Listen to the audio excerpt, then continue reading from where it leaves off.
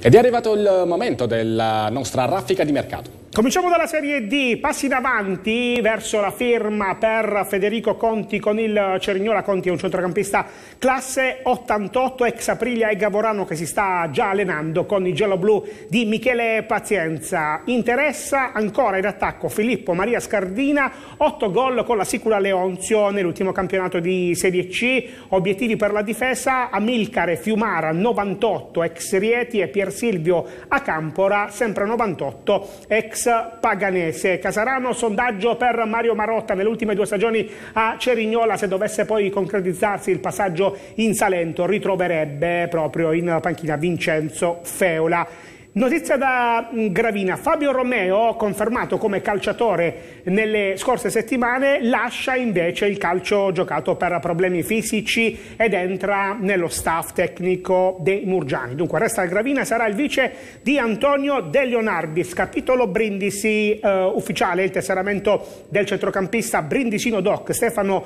Iaia, nell'ultima ha già giocato a Brindisi, questa sarà la quarta esperienza con i Messapici per lui, nella passata stagione ha giocato invece con uh, lo Stuni, mm, nuova offerta per uh, Federico Cerone, ex trequartista del Savoia, potrebbe arrivare in giornata la firma di Loris Palazzo per l'attacco, sempre aperta la pista che porta Stefano D'Agostino, in arrivo anche la conferma del portiere uh, Pizzolato. Per quanto riguarda il Taranto invece nome accostato agli Ionici, Facundo Lescano, attaccante classe, classe 96, 13 gol nello scorso campionato di Serie C con la Sicula Leonzo, ci sono però anche tante realtà professionistiche sul calciatore. Il Nardò che aspetta di tornare in Serie D attraverso la porta principale ha un chiaro obiettivo per l'attacco. Si tratta di Antonio Caputo, le parti sarebbero molto vicine alla firma Caputo nell'ultima stagione in eccellenza con la maglia del Barletta. Due ufficialità all'Unione Calcio, Alessandro